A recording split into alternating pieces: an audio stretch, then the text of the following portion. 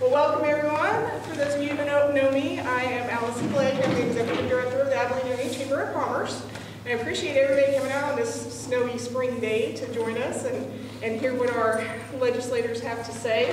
We're going to start this morning with Representative Barker and Senator Hardy, and then um, they're going to share their thoughts with us and probably allow you guys to ask a couple questions. And then um, probably a little closer to 11 o'clock, then Congressman Marshall will be joining us and, and sharing his thoughts. He had another function before this one, so he's going to come over here. So without further ado, I'm going to kind of just leave it as, a, as an open uh, format and let these guys do their thing. So welcome, everybody. Thank you. I'm going to go first? here? Go ahead. Okay. Hello, everybody. Thanks for coming on this yucky morning. Uh, Randall Hardy, your state senator. Uh, and I, for those of you may or may not know, I, my Senate district is all of Saline County and then the northern half of Dickinson County.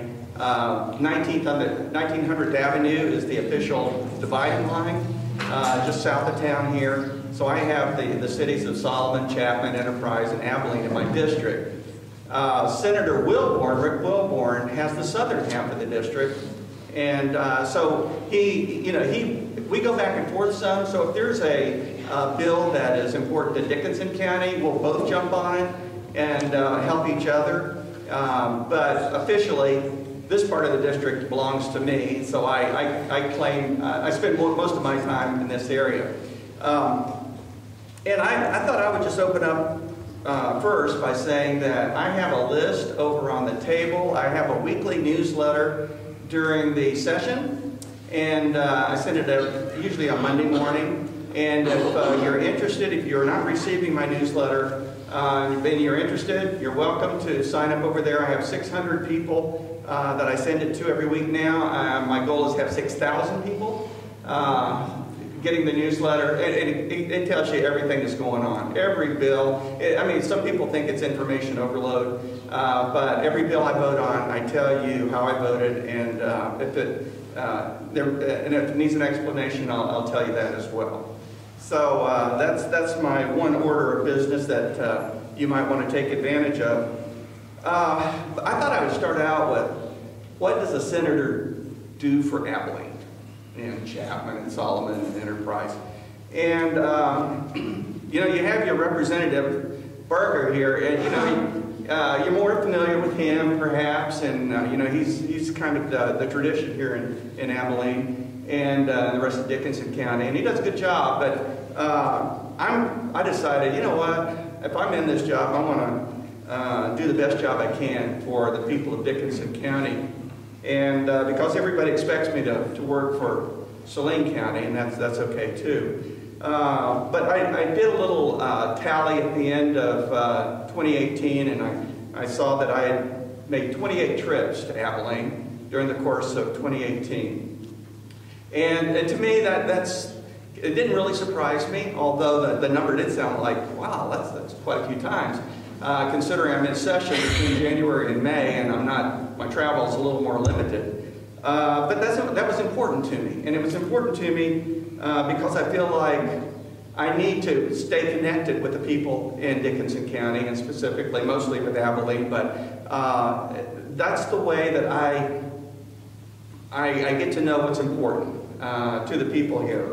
And uh, during the course of the session, though, I am working uh, with people in the city. Uh, you may not see it happen, but uh, I worked with uh, Leah Hearn, the treasurer. Uh, I worked with Jim Garland with the National Greyhound Association. I worked with Don Hammond with the Eisenhower Foundation, and that's a bill that Representative Barker is working on, and also a co-sponsor of the bill in the Senate uh, was Rick Wilborn and uh, Senator Bowers from Concordia. Um, I work with uh, Austin Gilley in the city, city manager's uh, office and uh, Tim Schaefer. Uh, worked, I've worked with the uh, county commission. I've worked with uh, Sherry Massey, works with Dickinson County in IT on a 911 bill that was being debated in the Senate. I've visited with every school superintendent I'll meet with every school, su school superintendent uh, and their school boards uh, during the usually during the fall to, to ascertain what their priorities are. I meet with uh, city governments, uh, everyone that, that, that's incorporated and in the district uh, to determine what their priorities are. So it's a lot of fun for me to get to know the uh, people in the, in the different cities. Um, and Allison here at the chamber, uh, I, uh, I, have, I feel like I have a good relationship. I was at the chamber dinner back in February. That was my first trip uh, to Abilene uh, for the year. And I, I visit, uh, last, last year I was here for ribbon cuttings, I was at Love's, I was at Land Pride. Uh, I, I did some of the uh, business after hours. Uh, you know, it, I enjoy it. Uh, this job's a blast, you know, I, I have to, I have to say.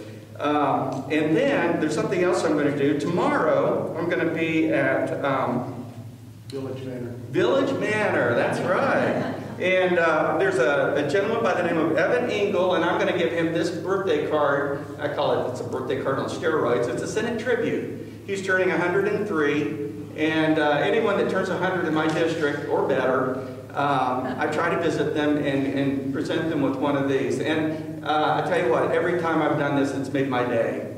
There was uh, one, uh, one gentleman I visited last, uh, the end of the year last year over in Solomon. And uh, the, it was at the, the, high school gymnasium where they were having the reception. And uh, so I was, I was there talking to people, and I see this guy walking in. He had a cane, but that was it. He lived across the street from the high school, just walked across. And that, he was the recipient.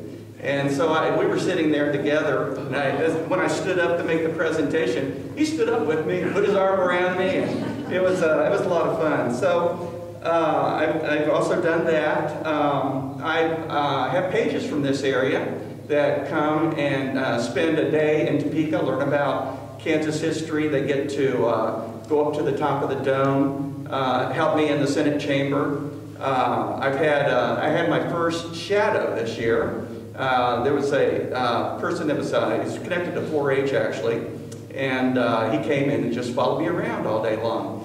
And it was, it was kind of, that that was kind of a revelation to me because he was, he's very interested in government. And we, we were going out in the rotunda, and uh, typically in the rotunda every day is a different kind of day. Uh, this particular day was uh, recycling. And so you couldn't, I couldn't hit, didn't have time to hit all of the tables. And I was just going, you know, hit and miss. And uh, he, he grabbed me by the sleeve and he got to go back to this one table. You have constituents back there. I said, all right, well, this, this guy's, uh, I like this one. Uh, so, uh, so that was kind of fun. Um, and uh, last but not least, I'm going to wrap things up by saying um, Abilene has impressed me to the, uh, the extent right now that if you walk out to my car, on the back of it, you'll see an I Like Ike license plate. So, uh, you know, I can't live here, uh, I have a house in, in Salina, but you know, this is, I feel like I'm a resident. And I appreciate the support I've gotten from uh, everyone in Abilene and uh, the rest of Dickinson County. And uh, if there's any way I can, uh, you know, make life better, let me know. And, and my, my pledge to you is if you, uh, people write me postcards, I send them a postcard back. any, anyone that comes to visit me, I'll write them a thank you note. Uh, I feel like when people come to visit me in Topeka and they spend their time and energy and money to get there, then I feel like I owe them my presence. So I have, you know, I have a lot of territory uh, to cover, and, and anytime somebody comes to visit their representative, they also want to see their senator. Well, it kind of makes sense. Well, it's a challenge, but uh, we get it done. And I uh, appreciate every time somebody walks in the door to say hello or to uh, talk about an issue. So. Uh, any, anything I can do to, to make uh, Abilene a better place to live, uh, just pass the ideas along and we'll see what we can make that happen. So thank you.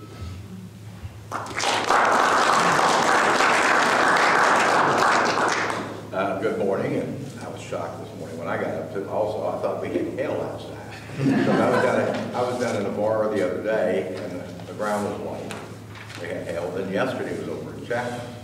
So I just thought, well, we had it happened last night. Then I realized I could see the snowflakes coming down. So it's not the first time it's snowed this late in the year. I, when the grass is green, we get a little snow. But uh, uh, I want to thank Senator Hardy. Uh, I'll echo many of his comments, although I don't do that 100-year-old thing. uh, Rick Wilborn, our other senator, is in another forum in McPherson today, is the reason he's not here.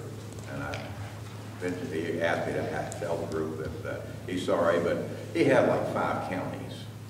So he, he, he's got a larger area than either one of us. But he would have liked to have been here. Uh, For those who don't know me, and I think most, of- I think I recognize everybody here, I'm John Barker, I'm the state representative for the Septium. Uh, I'm on my fourth term, and uh, I chair the uh, Federal and State Affairs Committee in the House, which is one of the exempt committees. We have three exempt committees, appropriations, tax, and federal and state affairs. And so it means we can work bills until the very last day. So I've been pretty busy this year. Uh, I think we've had about 38 bills in my committee. Now, we've not heard all those bills, but we've heard a number of them. Uh, For our post-audit, uh, it rotates between the House and the Senate, so this year I've chaired it, I've chaired it, uh, well, the last few times that a House member's chaired it, I've chaired it, I think, three times. Um, But it's been an interesting year uh, because we have a new administration. Uh, And some believe that she didn't think she was going to get elected governor, Governor Kelly, because uh, when other governors have come in, they've already had their secretaries picked out, and they've done all the background checks and everything. Uh, This administration was not prepared for that, so they uh, appointed temporary uh, secretaries until they can get the background check checks. And then they, when they actually nominate someone, then they go to the Senate for confirmation. The Senate's been doing that. Uh, Well, last week you did several of them, I believe the Senate uh, approved several of those. So things are a little slow. We've had less bills introduced this year than we have in past years because those secretaries, permanent secretaries that have been approved, you know, usually have an agenda, uh, things that they want for their department. And because we didn't have uh, a full-time secretary, those bills didn't come to us. I would, I would suspect that next year, we're going to have quite a few bills introduced at the beginning of the session. Uh, I, I've worked with uh, children and families and a number of other secretaries that have come in, but most of them just are temporary. They don't know if they're going to get a uh, permanent appointment or not. So that's, that's a little different this year. Um, In the House, I think there's about 380 bills that have been introduced. Of course, we always get a lot, sometimes it's as many as 900 to 1,000, but well, we haven't had that many this year. The things that I've concentrated on uh, is uh, things that are are relevant to my committee. Of course, the Federal State Affairs Committee that has public policy. We, we establish the, the public policy. So we have everything from gaming, we have uh, anything with uh, right to life, we have everything that involves alcohol, and then any, any other uh, resolutions that may come through or constitutional amendments. So that's, that, I have a 23-member committee, uh, and, uh, and we work well together. For those, uh, we were talking about keeping the communities updated, I hope with the with the help of Eagle Communication, I think it's every Saturday night and Sunday night, I do a show on Friday as I come back from Topeka uh, to give a legislative update. It's a 30-minute show. Uh, and I, you normally have guests on it. I've had the Speaker of the House, I've had the Majority Leader a number of times. Last week I had the Minority Leader, the Democrat, uh, who's the Minority Leader in the House, come on. Uh, I felt it was a pretty good show. Uh, in May 10th, I think I have the Attorney General coming on. But it's one way to keep updated. If you don't get Eagle, if you live outside the, in the county, you can go to my Facebook, and I have a regular uh, uh, political Facebook that you can watch those shows on my Facebook, and you can get updated. And I usually come in and talk about what happened that week, what bills we worked, what bills uh, were passed, what bills were rejected. Uh, and we have, uh, you know, I, I talked with uh, the superintendent of uh, Abilene Schools a couple of days ago, Chris Cooper, the assistant superintendent, I should say. And uh, I talked with the county commissioners on Thursday to keep them updated on what's going on. Uh, Chris, uh, Mr. Cooper, you know, he's been around long enough that he understands that whatever we've done to this far, as far as education or anything, is just that. We've got this far. The last two weeks, we're going back next week for conference committees. Conference committees are where bills have passed the House, went to the Senate, they may have amended it. it comes back to this, to the House, we non-concur, then we put them in conference committees. Uh, the same with the Senate, they send them to us. Uh, I had, I think I worked, uh, five or six Senate bills last week. All of them were amended because the House needs to put its fingerprints on it. It goes back to the Senate. My counterpart, Senator Estes, who's chairman of the Senate uh, Fed State, non-concurred. We'll get into conference next week, and we'll work out the differences. And then we'll put bills together. And then we'll run them in a conference committee report. Uh, The reason we run them in a conference committee report is they're not germane, or they're not amendable. Uh, They, it's an up or down vote. And that's just a procedural that we always use. Um, But overall, uh, it's, it's been a very relaxed year uh, from years past. Uh, I was telling somebody, I think it was, uh, uh, well, I guess it was Chris Cooper, the county commissioner. I'd come out of, tell the story, probably shouldn't say this. But my, my, my office is on the second floor, the governor's office is on the second floor. And I've known the governor for six years. She served on my post-audit committee. And we get along. Uh, she's a very nice lady, very smart lady. Uh, we differ politically, but, uh, so I came out of the, the men's bathroom, uh, and I had washed my hands, and I came out and she said, John, come here, I don't talk to you. So I'm wiping my hand on my coat just to make sure it's dry, right? Went over and shook hands with her, and she wanted to talk about sports book. Uh, This is the Supreme Court of the United States, uh, last June, I think, entered a decision uh, based on a lawsuit from the state of New Jersey, had filed suit because, as far as gaming, the only state that was allowed to have sports book, which is the betting on professional ball, ball games or the, right now, the tournament, the big dance, uh, we're not allowed to have that. Supreme Court decided, no, you can't just have one state have it, so they opened it up to all states.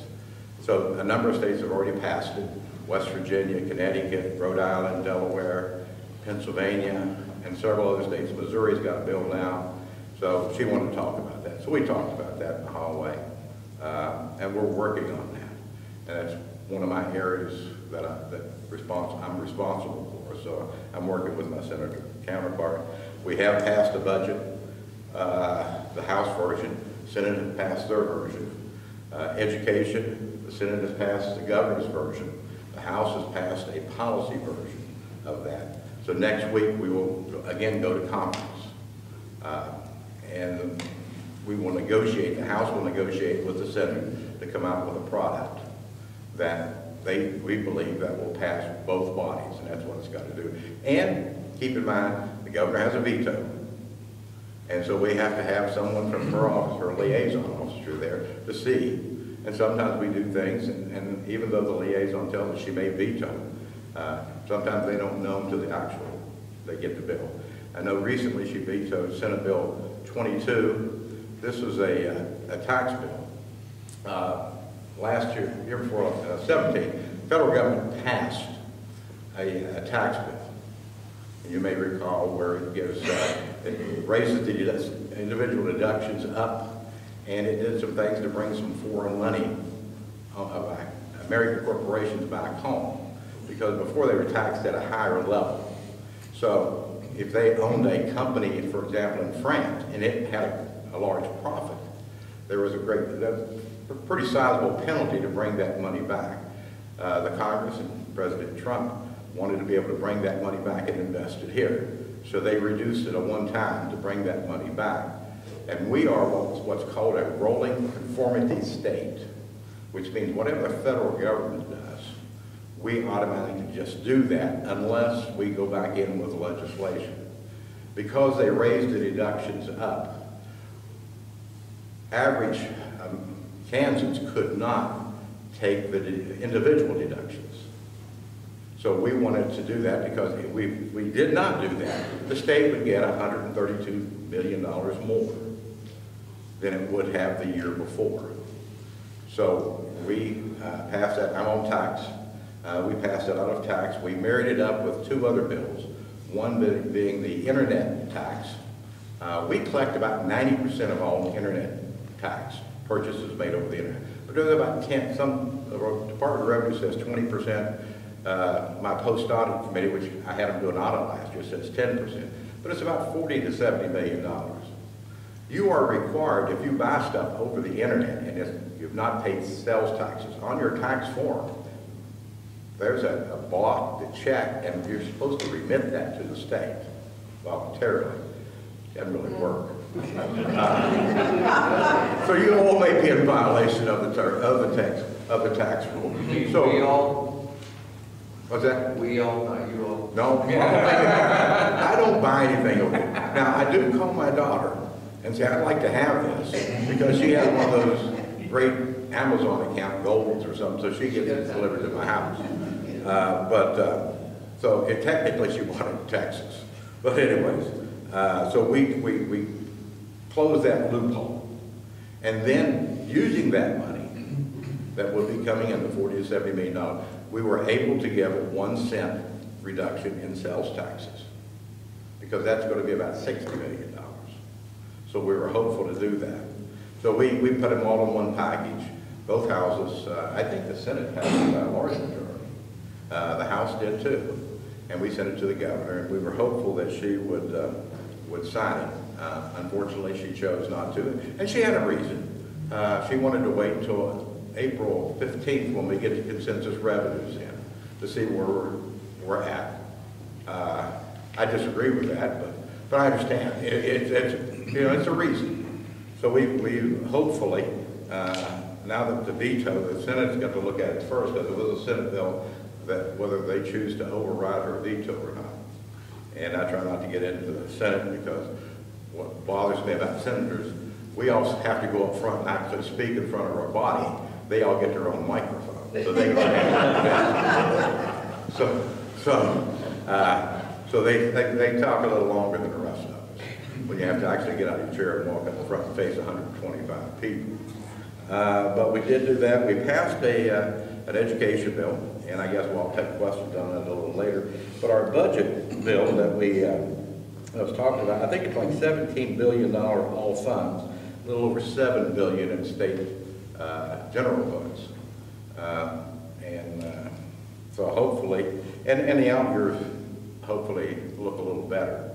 But, uh, we, you know, 60, 60, 62 percent of our entire budget goes to education, K through 12 and higher ed. It's about 55 percent, I think, of K through, K through 12. There was one thing I was going to talk about, I didn't know if I brought it. It's, it's debt. May have some questions. Dickinson County is $80 million in debt, whether you know that or not. Uh, But compared to Johnson County, we're doing pretty good. Uh, About 43 million of that is in school debt, and the rest is just in bonds and different. But I have a sheet here. I think I'm gonna put this on my Facebook account, let you look at that. You can, well, I don't know if I can, I think I can do both sides of it. Uh, I'm not the most uh, technology proficient person. Um, But I'll take questions on any other issues, but I want to thank you for coming out today on this beautiful Kansas day, and uh, I will sit down, and at this point, I think we take questions. I was just gonna throw out one thing though.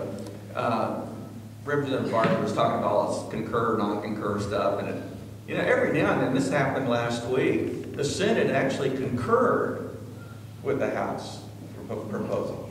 Well, just to, just to make the correction, uh, uh, uh, uh, I want to correct, well, it is correct. I made the first concur on a Senate bill. On a House bill that the Senate had amendments to. It was non-controversial because I concurred, uh, it was on a bill that April 1, uh, convenience stores will now be able to sell 6% beer. Uh, And we passed this bill in 17. This is what's called a trailer bill. It came through my committee uh, because we needed to do a few corrections. uh, And, and, and particularly about the tax. The different taxes, because you have an alcohol tax and then you have a regular food tax. And so we did that and it went to the Senate. And of course, the Senate in its wisdom made clarifying language, which means they were clarifying what we said. I thought it was pretty clear, but, but uh, they did add clarifying language. And it, so it came back to the House, and because of the time, uh, 1 April, become effective, I wanted to get it to the governor. If the Senate had not just sat on it for two, three weeks, we'd have got there before. But uh, as you can see, we have some rivalry here uh, between the House and the Senate. But it is passed, it's to the governor, and hopefully she'll get it signed pretty quickly, and, uh, because uh, we, we really needed that to, to ensure that the, uh, the, the same regulation that deals with liquor stores deals with those convenience stores that are selling the six percent beer. But I did concur on your Senate amendments of clarifying language. Thank you. Can you tell me where we are with the rural opportunity zone? We are, Where- thanks to our Senate. Okay, yeah. We, uh, uh, we just uh, passed the, the bill that uh, included um, uh, Dickinson County as a, a new addition as a rural opportunity zone. Technically speaking, Dickinson County does not qualify, but early in the session, um, there was a, kind of the the freshman uh, senator was going around, he was wanting to add Crawford County, and he was looking for help. And so uh, he said, I, I, I want to get Crawford County as a rural opportunity zone. Will you co-sponsor? I said, if you put Dickinson in, I will. And so, uh, and so uh, I think it, it's a great opportunity for Dickinson It, County. it is, it provides uh, student loans, Yeah. up to fifteen thousand dollars. And also state abatement, uh, tax. It has that in Yeah, five years. Uh, I like the educational, as long as they come back to, to, to a rural area after college and, and go, yeah, thanks, John. Well, the reason I ask is we have a doctor who wants to come back here, but Mhm. she's at Indi, she's in Indiana doing a residency, and so this would help us greatly to bring her back. It would, and I, and I, I think the House will pass it when it comes over, and we'll put it in the conference committee, and I believe the governor would, yeah, I don't know what the governor's. gonna Is there any do. reason why you think it wouldn't pass, or is there? Uh, well, I think, because if you look at the criteria, we're on the, I won't say we don't qualify, I think we do qualify. It's how you interpret the existing law. Uh, But I think we do qualify, and uh, if, you know, that objection is raised on the floor of the House, I'll, I'll go up and defend it. Because uh, there- it, it, it's, the statute, existing statute, it controls that is vague. Yeah. And so I think you can argue either way. There are, you see, the, the thing is, there are 77 counties that already qualify. And so the list, this would make the list six counties more. And so pretty soon, I, I was talking to some Johnson County, well, why can't we put Johnson County in there? And then, you know, and- or let's make the whole state a rural opportunity zone. Well, does- I don't think it, it was designed that way, but I think, you know, Dickinson County is a more of a western county, more rural uh, in nature and smaller. Yeah. And, and I think with those, those criteria, then, um, that that was the way I was interpreting it to me. Because, you know, I didn't even try Saline County because I, I knew that that one wouldn't fly and I didn't want to, uh, you know, kill the bill by, by saying you have to have that one in there. Johnson County representatives think anything west of Topeka is rural. Yeah. I think some of it is Topeka, but it's, it's, uh, I think it's got a very good chance, and hopefully it will pass. And that would be helpful for your career your doctor. Mhm. Yes, ma'am? What's the, what's the status of the Farm Bureau's non-health insurance, health insurance? The Senate passed it, Easily. it, it easily, uh, and, and, you know, I, I'm not in love with this bill, I will tell you, because it's not insurance. No. Oh, yeah. And, and I, I've already told them that I would vote against it because, they're, one, they're picking out the, the, the young, healthy folks, taking them out. But also, know, I've had several calls from some farmers that are members of the Farm Bureau saying that I should support this, but it's not insurance. So if you have a claim and they refuse to pay you, you can't go to the insurance commissioner and have a hearing. You have to go down here to district court, and hire an attorney, which costs you three or four thousand dollars, file a suit in, in, uh, in the district court, and litigate that, which could cost you another ten thousand dollars to get them to pay a claim. Uh, And, and Kansas Farm Bureau is not Kansas Farm Bureau anymore. It's owned by a company in Iowa. Uh, so, I, you know, when they get to pick who they want to serve, and there is no uh, guardian, so to speak, like we have with the insurance commissioner, that can say you can go to the insurance commissioner, it doesn't cost you anything, make a complaint. They have hearing officers, and will make the determination to force the insurance companies to pay the claim. If that association group that does not insurance, you don't have any of those avenues. Well, Would that kind of precedent for other entities to do that? There's a, um, there's a group that's similar in, in nature, it's called MediShare. I don't know if you've heard about commercials for it or not, but it's, it's, it's a, it's a health plan, it's not insurance, as uh, uh, Representative Barker said. But uh, the thing that convinced me on, on this particular bill was the farm families that were coming in, and most of them are independent contractors. You know, they don't, they don't belong to farmers groups, um, except for Kansas Farm Bureau. And uh, the reason they needed that is they, they said, you know, we're paying thirty thousand dollars between premiums and our deduct, deductible. And we can't deal with that anymore. And so this particular bill uh, would give them an opportunity to uh, purchase insurance, not insurance, a health plan um, at a more reasonable rate, 30 to 40 percent less than what a typical insurance plan would, would charge them. There was no, no coverage for pre-existing conditions uh, which was, that, that's the, that's a bulk of the, uh, the additional cost. Uh, but it would give them something. They, uh, in my mind, it was providing another choice. I'm big for consumers. You know, if consumers have more choices, I'm happier. So uh, that was that was the reason I, I supported the bill in the Senate, and I think it's um, you know you don't have to buy it. Uh, you can just go for the go the traditional route if you want, and, or you can go some other route. But I, I felt like we needed to have that as an option for people so, so that they felt like they weren't just out there uh, naked. Uh, no insurance, no, no help. And, uh, and that, that's the part that I was mostly, most concerned about. And, and my response to that would be, is they're picking and choosing, which would cause other folks' insurance to go up. If they take all the healthy and not cover pre-existing conditions, then they're getting the, the cream off the top. And which would cause other, you know, based upon the actuarials and stuff, that, you know, it's kind of a balance. Uh, and you're taking that balance, uh, out. And if you have a claim, if they don't want to pay, if they pay it, fine. If they don't, then you have to end up in district court. You can't go to the insurance commissioner. That's my big objection. This is the kind of discussion that goes on in Topeka all the time. Okay. And it's always a And we, silver. we have our congressman here. so. But, yeah. Any other questions out here? Uh, Did you all come, probably not for us, to see our congressman? Steve? Yeah, I'd just like to make a comment. I have the opportunity to work in Topeka most days, and I want you all to know how hard these guys work. You would not believe how hard they work. I mean, they're, they're at it early in the morning till late at night every day, and uh, they've always had time to visit with me on issues that I've wanted to work on. And uh, I just, I think we ought to give them a round of applause for the fine work that they've been doing for us. We're, we're both the same age, so we're kind of institutionalized. We grew up working from a young age.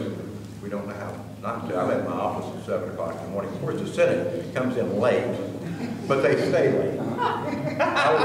We, last week, we stayed, uh, I I think, uh, Tuesday night, we worked thirty-seven bills on the floor of the House.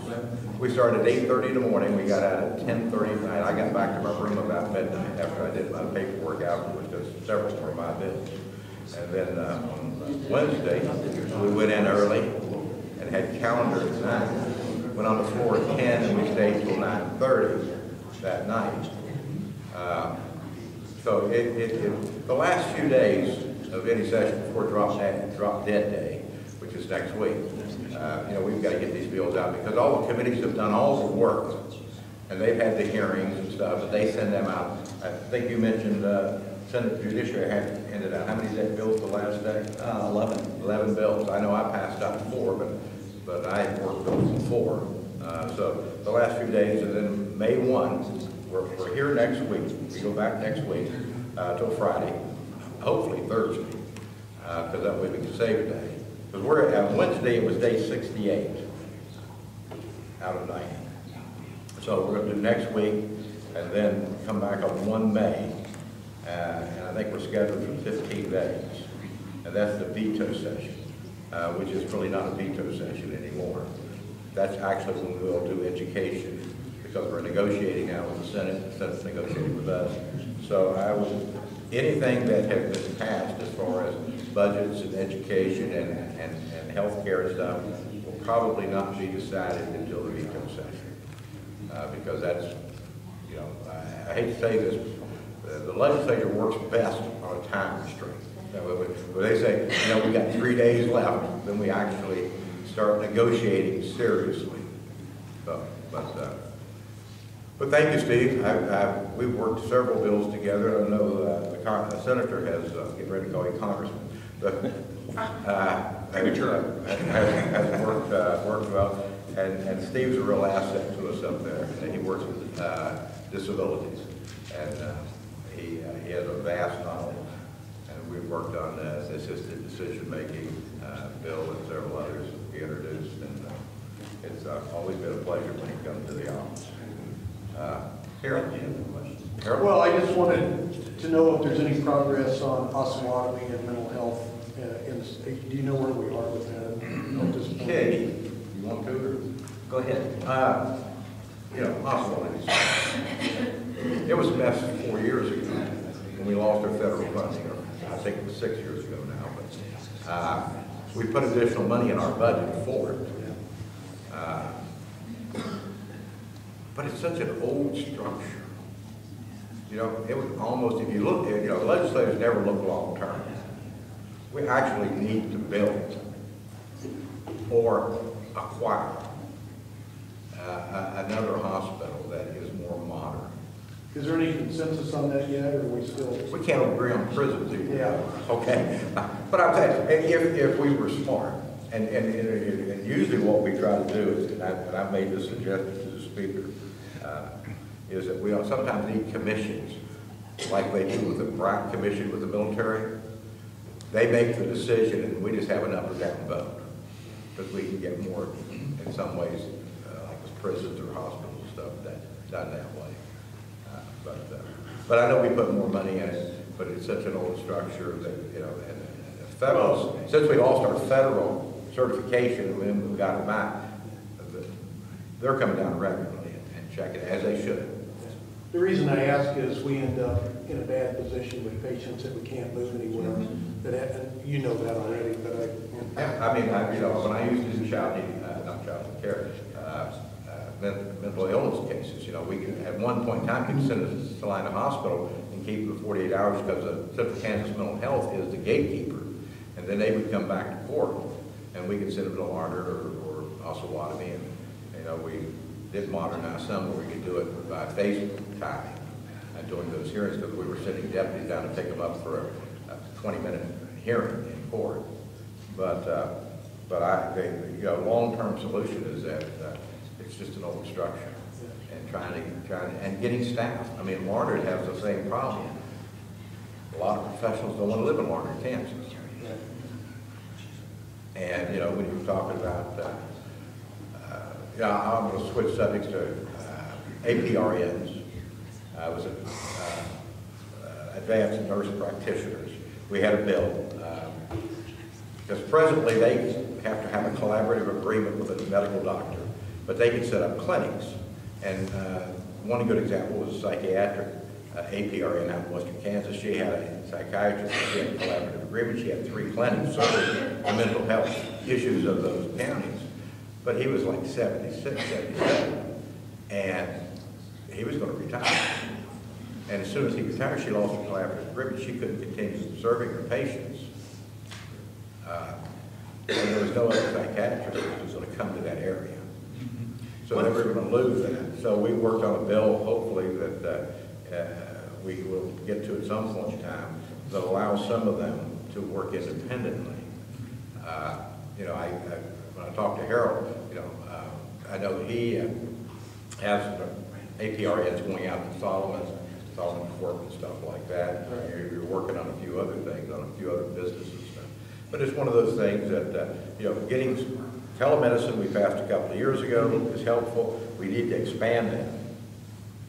Because if you're out in northern Kansas and you to see your cardiologist, you're either going to come to Salina, or you're going to go to Topeka, or maybe Kansas City. Whereas you can go to your local doctor, they can get your cardiologist on the screen he can tell them what to look for, and I'm not trying to, I have no medical knowledge whatsoever. But if, if with your doctor or an APRN, they can do those checks and stuff, and that would save you, save you the trip to Kansas City or Topeka or Salina. Yeah, could I just add one thing? I think that if you are gonna pass that type of legislation, I think there's still a lot of debate about whether they should practice independent or not, because the real, the the realism is, they're not physicians. The other is, I think that new people coming out of school don't belong without oversight. And I agree. I will just say that people in our health system will always I, have I, I think we have had forty, four thousand hours. I know Colorado only has a thousand hours. Several other states have other Yeah. numbers. Uh, so, but, but you're correct, we, we wanted at least four thousand hours. And I'd like to reiterate what Steve's, I, you know, you guys are always available to us, you always talk to us. John comes out and spends a Friday now and then with me, and I think I do. that's very As important. So thank you very much to both of you. I would like to come out to you about the coffee. That's what I told Chris Cooper the day when I was meeting with the school superintendent or assistant. I said, do you have coffee? If you're gonna have me come out at eight o'clock in the morning. Uh, and I was shocked today, we had no donuts. Legislators live on coffee and donuts in the. I did get a brownie. But, but, but for the next one, folks, uh, wouldn't you, you know, glazed donuts, glazed donuts is good. I mean, remember, I started out in law enforcement forty-five years ago. used to eating donuts. I went to the legislature, I was quite happy to see that we had donuts every morning before calendar or coffees. Can I ask a question concerning mental health? Yes. Um, I can't tell you where the grant is from, but, but the school district, Dickinson County is part of a pilot program Yes. to provide mental health to rural facilities, and I know they told me yesterday they have hundred and 25. kids getting, uh, um, therapy. Yes. And, uh, and so what is the status of that being a, a second-year program? Okay, uh, this bill came out last year. It was uh, brought up by Representative Landwehr out of Wichita. She's very big mental health. I'm the one that got her to add Dickinson County, our school districts in Dickinson County, because I thought we would be a good model because we have Central Kansas mental health. And um, in fact, the day it was supposed to have worked on the floor, I got a call from my superintendent. Now, you may have been in that meeting when Denise called me and says, John, uh, we got a problem. The fiscal agent was going to be a Saline County uh, co-op. And uh, I said, you know, we're supposed to be debating the bill today. I said, let me see what I can do, because they didn't want to do it, the Saline County Co-op. Uh, The Abilene District said we would do it. And so I went back and I talked to Brenda, and I got her to continue the, uh, the, the bill for not, to not debate it that day and give me a day or two, we drew up an amendment moving it. And then I got a lot of flack from my Saline County representatives who were, were not as well informed because they were complaining that we were taking away from Saline County. Well, I said, call those folks. They don't want to do this. They're not making any money out of it. And uh, so we were able to change it to 435. I do know we've got 125 students that are enrolled in it. It will continue to be funded, uh, at least for the next two more years, I think. Uh, But I did find out we had 125, now that's in Abilene. I don't know what's, uh, We're at 18 right now. you're at 18? Yeah. And, and, uh, uh, Well, Herington too. Herington. Somebody mentioned Herington. uh, Right. That they probably have a pretty good number too. simply And I think because they have Chapman- Full-time. I can't give you the number in Chapman, but I think they, they've got a good number. But it was a good deal for Dickinson County when I was able to get all the, because I, I, I didn't want one district to compete against another district.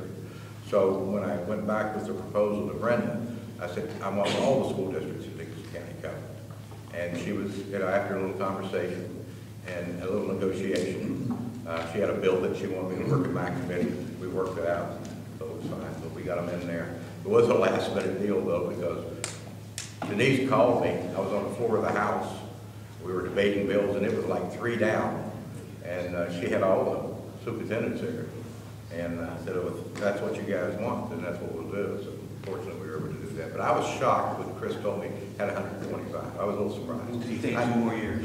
yeah, uh, I was just surprised, I thought it would be 25, 50, you know, you never know. But, uh, but they also, and I, I, we got a superintendent here from Zama, uh, I was concerned that Central Kansas Mental Health did not have the staff to do this. but apparently that's not been a problem. And Maybe you can speak to that. Uh, they're, they're always looking for, uh, help, of course, but, uh, I think one of the great things is that uh, it's been a great partnership because, uh, there's not lost time traveling, across the line or wherever you're receiving services. It's in there in the school and it works out for them.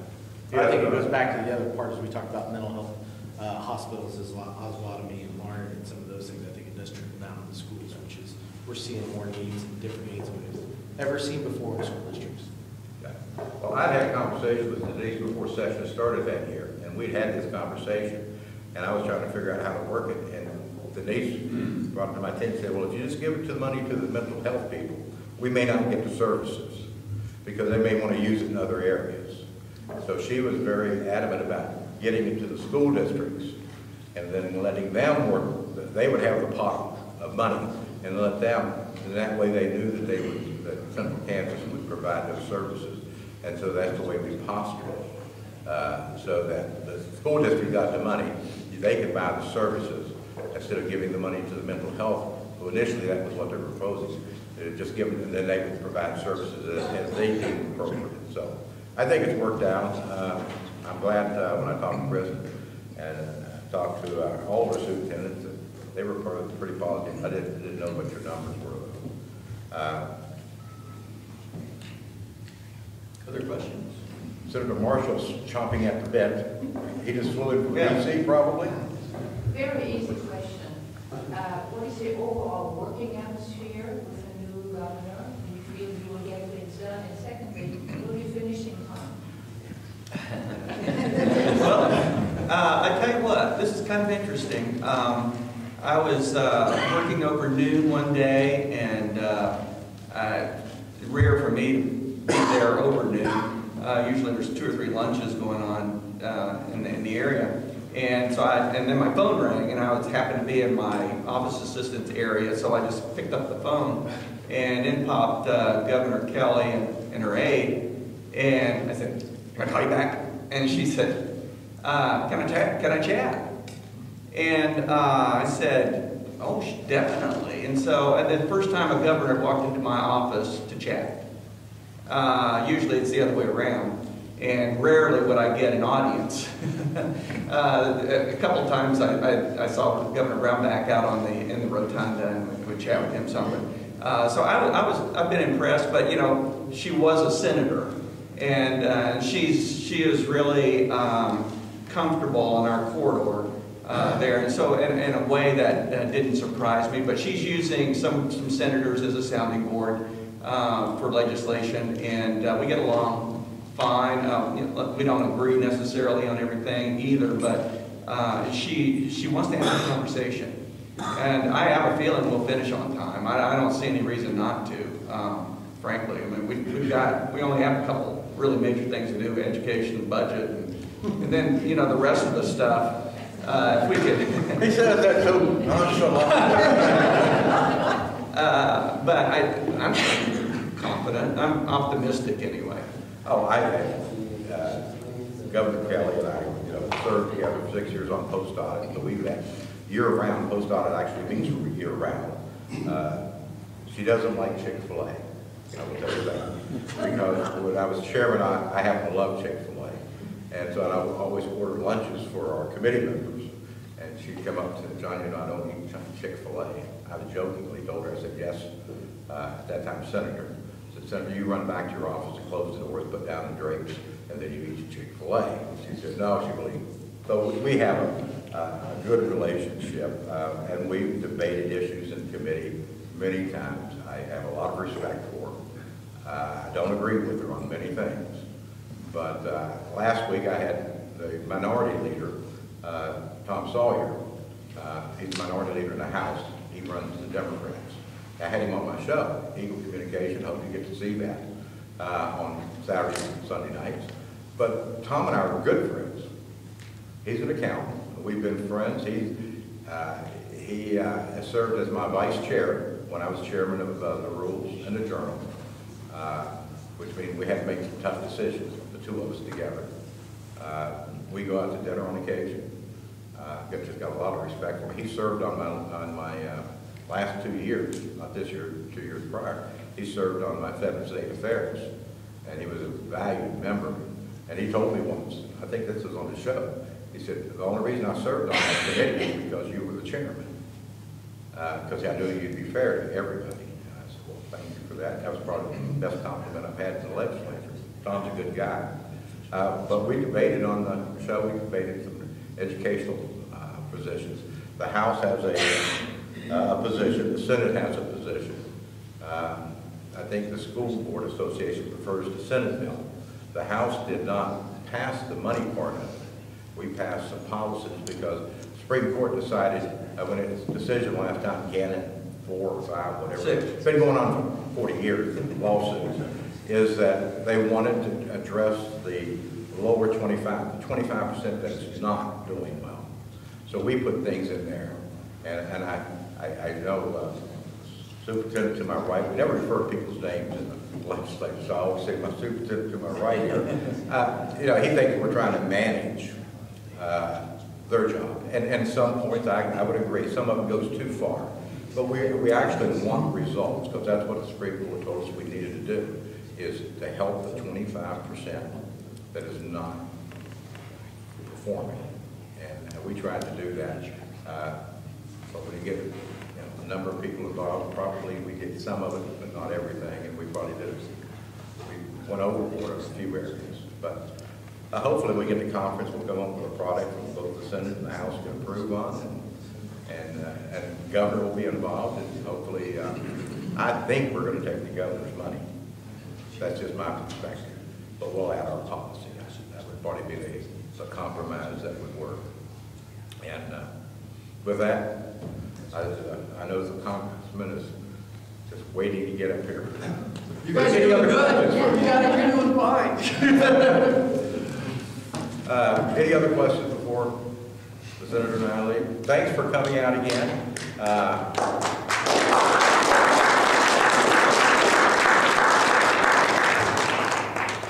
And don't forget about my newsletter over there if you're interested. Give me your name and email address and I'll get you added. And, and if you want to sign up to my Facebook, it's John Barker on Facebook. Every week, the show that we tape on Friday, 30-minute show, is posted. It's not only on, uh, I think it's on your website too, isn't it? It goes on the Eagles website, it goes on the uh, Channel 2 uh, Saturdays and Sundays, 10:30, 11 o'clock, something like that. Uh, I would encourage you to watch it. If you don't want to watch it, uh, or if you can't get Eagle, go to my Facebook. It's posted every week, and you get to see some of the other people that are involved, like the majority leader, uh, minority leader's been on, uh, speaker's been on, the speaker pro tem's been on. I just try to bring different guests and have a different perspective and from a different area. So uh, you may want to watch that. If not, that's okay too. Let me get off here. Well, thank you, Representative Barker and uh, Senator Hardy. We appreciate you guys coming out today. And uh, before I introduce our esteemed congressman, I'd also like to mention that we have the district representative for uh, U.S. Senator Jerry Moran's office, Kristen Little, here with us in the in the audience. She's really great about coming out and supporting our events, and and we love to see her here. And so, of course, we've got, we have Congressman Dr. Roger Marshall. Thank you. We're setting the stage. You're setting the stage, okay. Thank you. You ready for me? Anytime. Okay, you sure? Okay, thank you. All right, thanks for having me. Well, good morning, everybody. Uh, Glad to be here again. Appreciate the invitation. Appreciate uh, just the time to be here. Thought I might just start maybe by, by uh, sharing a, a little story. Two weeks ago, I was invited to the White House by President Trump, and he, he asked me to come there to talk about health care. And I was told by his chief of staff, Mick Mulvaney, who's quite a character, we're on the baseball team together, and I've got to know uh, Mick a little bit better. Uh, and he's, he's just, he just loves his job, which is really interesting working for the president. But anyway, I was told by Mick I'd have 10 minutes to talk about health care. So we, we got to the White House, we went in the Oval Office, and I sat down beside the president. And the first thing he said is he turned and looked at me and he said, Roger, how are your farmers doing? And I said, well, Mr. President, actually, it's not well. It's not going good in agricultural land. It's pretty tough times. And for the next 20 minutes, we talked about agriculture. And I want you to know the president knows the struggle that agriculture is going through right now. He knows that the agriculture is born the tip of the spear when it comes to retaliation of these tariffs. And he has great compassion for agriculture. He knows that they are his biggest supporters. And he said, Go back to Kansas, tell your farmers thank you. Thank you for continuing to, su- to support him. And it's interesting as I go through the state, and I think we've done 130 town halls, maybe three or 400 roundtables since we became elected. And everywhere I go, the farmers know that there's long-term opportunity here, that this short-term pain is worth the long-term gain. Most every farmer has a story about China and how they were done wrong by them in some type of a deal, and they still are supporting the president. We talked in great detail about the China trade deal. Um, he said, hang in there, go back and tell your farmers, hang in there with me. In the next several weeks, we hope to have a major announcement on China. And I know next week the premier, the vice premier from China will be in D.C. again, and I think we're getting very closely, very close to that agreement. And then he turned to me and he, he talked about, he said, well, what about USMCA? So USMCA is the Trump NAFTA redo deal, right? He turned to me and he said, uh, Congressman, can we get this deal through Congress? So he's done all the heavy lifting. Now it's up to Congress to approve it. And I said, Mr. President, we don't have a choice.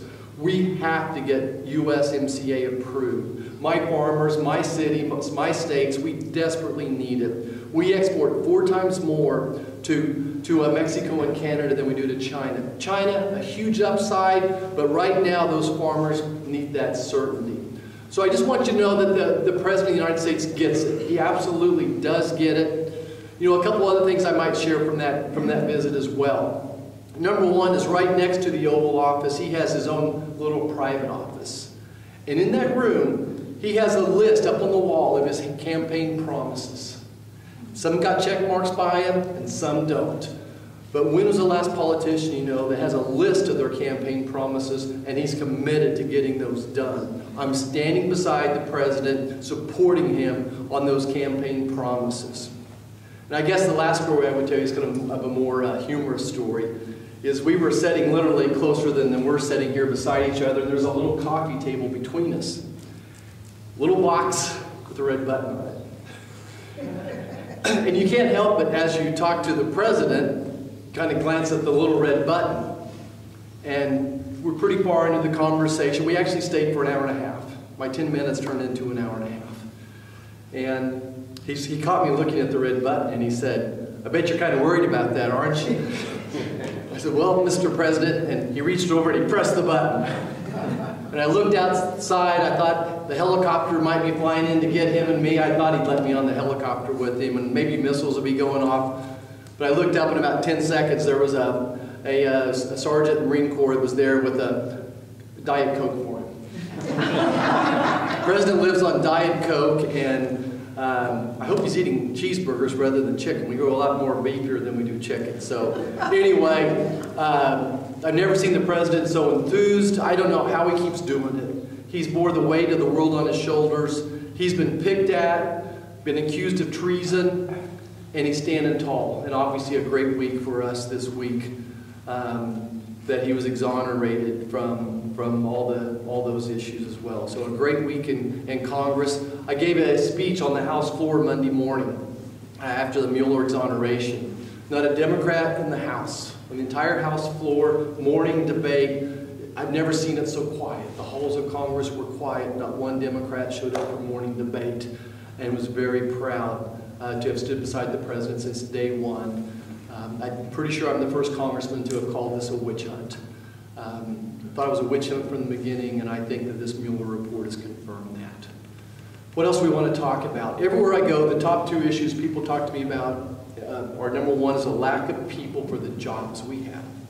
It's not just in southwest Kansas, now it's the entire state, it's the entire country. The other issue I hear a lot about is the cost of health care the cost of health care uh, as well. You know, on the, on the job sites, I think I'm supposed to be uh, a leader and share, well, what's my vision for Kansas look like and talk about solutions, talk about goals, objectives, and solutions. When it comes to a lack of people for the jobs we have, I think there's something that I can do, and there's something that we can do collectively. You know, number one is we need an agriculture guest worker visa program for Kansas. I have 70,000 jobs in this state dependent upon an agriculture guest worker visa. That need, means we need immigration reform. I can't even talk about immigration reform without mentioning first we need to secure the border. To me, it's one problem. The economy, immigration, uh, how immigration impacts the schools, how it impacts the hospitals, all, all those things, and securing the border, to me, that's all one problem. And the mistake I see lots of politicians and the national media do is talk about each one of them in isolation. But as a CEO, as a person, as a physician who looks at the human body, I want to know more than your blood pressure and your oxygen saturation. I want to know your sodium, your potassium, your x-rays, your MRIs, and then come up with a solution for, for the problem. So number one, we need to secure the border. I've been to the border. It is a crisis. It's a national security crisis and a humanitarian crisis. Why do I say that? I think that th these facts are indisputable. There's lots of facts they're arguing about on national media, but I think these are indisputable. Every night we're housing, feeding, and giving health care to 40,000 people. It's just a huge tax on our system. I talked to the doctors from DHS uh, two weeks ago. They met with the Doc Caucus. The Doc Caucus, there's nine physicians in Congress, ex-physicians that are, that are in Congress. We get together at least once a week. We've been cranking it up, working on the President's health care plan. Uh, but we had DHS doctors come and talk to us about just trying to manage, you know, who's got tuberculosis, who's got measles, who's got mumps, hepatitis, just trying to assess that. We were averaging 2,000 people crossing the border illegally a day. The past month, it's 3,000 people crossing it illegally every day. I was horrified of the sex trafficking going on. I had no idea. The easiest way to get into this country is to be, if you go through the border with a, a child, son or daughter with you, you, it's much easier to check the boxes and get caught and released, right? So 12, 14, 16 year old girls and boys selling themselves to the coyotes who were transporting them in exchange for getting them through the border, selling their bodies, and then selling them into, into sex trafficking. Uh, I mean, that to me, that's the humanitarian crisis. Uh, the national security crisis, there's no way we can vet the 3,000 people crossing our borders every day illegally and the four or 5,000 that, are, that we're processing every day. You just can't properly vet those people for your safety. Uh, and then throw on two tons of illegal drugs coming across the border every day. So I was talking about jobs, but it's connected to border security. I can't fix immigration and then come back in 10 years and have DACA Part 3 or whatever the problem is. I need to secure the border so I can fix DACA so I can give us an agriculture guest worker visa. Now, what can we do? What can we do? We need to make sure that the youth of today are ready for the jobs of today. And the answer is right here in our backyard. We have the greatest community colleges technical colleges in the world. We need to make sure that our school systems are making sure that our sophomores in high school are plugged into those community colleges and technical colleges. And maybe they get a three-hour class that, that year, their junior year, maybe they pick up another six credits, and their senior year, maybe another nine credits. So they're graduating from high school, and they're already on their way to a great job. Now, I was fortunate, I got a college degree from Kansas State University and KU Med Center, but a lot of the jobs open now are a technical skill that if you can finish uh, uh, the wind energy program in Concordia, you're going to get offered a seventy or eighty thousand dollar a year job. Uh, all across the country, we need welders and plumbers and people that can shingle roofs and, and run an asphalt machine. The aircraft industry in Wichita, people retiring faster than we can move them into the system. K-State Salina, great opportunities there in the Technical Institute of Salina. Uh, closest community colleges to here, where would, where would you all, Salina has a great technical college, probably the closest one I can think of. Uh, it's not too far up the way to Beloit, Concordia. Cloud, to Cloud County, Concordia, exactly. So that's what we can do. We, we need to make sure that our kids of today realize those are great jobs. Uh, something to be very proud of and you can graduate with zero debt and have a great job, and then maybe those people go back and get a master's degree or you know a business degree, and then an MBA or whatever it is. But I think it's something that we need to keep emphasizing. Uh, there's something called a Perkins Grant, which helps fund that, and the state also has funds that they're funding that program as well through. So, you know, my job, figure out what's working, emphasize uh, what's working, and do more of it. And if it's not working, then go a different direction. So I'll stop there, and um, excited to be here and listen to your comments or questions.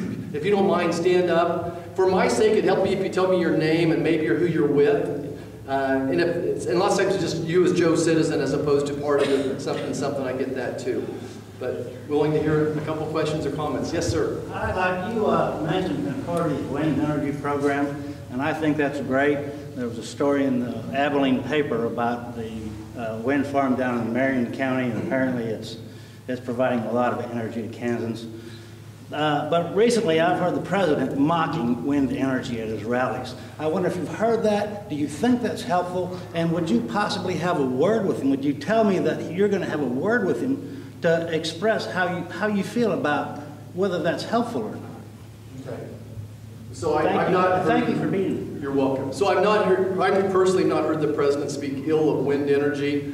Um, I believe in an all of the above policy on energy. I think diver- diversification is great no matter what industry you're in. Kansas, about 35% of our energy generated from wind, and now we're exporting it.